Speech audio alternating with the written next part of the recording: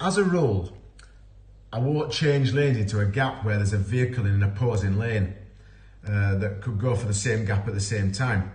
If I'm in lane one of a three lane carriageway, for example, and there's a vehicle in lane three that decided to go for lane two at the same time as me, inevitably I'm going to come off worse because I'm on a motorbike. Uh, so my rule is that I don't ever move towards another vehicle in an adjacent lane. I've got an example where I've had to time it just right to avoid doing just that, and it was it was on the cusp of doing breaking my rule.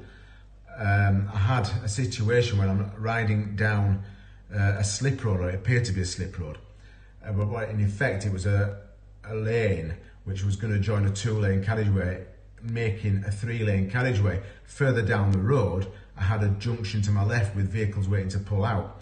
My concern was that I was the only person, the only vehicle in that left-hand lane, and I wasn't really visible to these people at this junction. So I was thinking to avoid any conflict with them, I need the middle lane.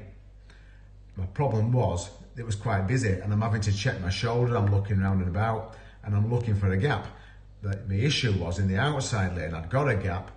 There was a white delivery, tall delivery van and I needed to time it just right to get to that middle lane before I got to that junction weighing up the, the percentages chances of them pulling out on me or him moving into my lane. So I had to time it just right.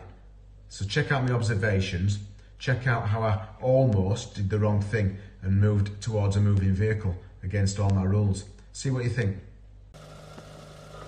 So this is the left-hand lane that I'm talking about. I've got, I've got a couple of white Prados here. The one in my lane up front is blocking the view of them vehicles that I've seen waiting at that junction. And I'm wanting the middle lane here. That's my problem. I can't move across because of him.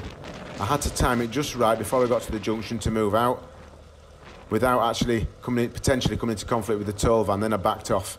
I think I timed it just right.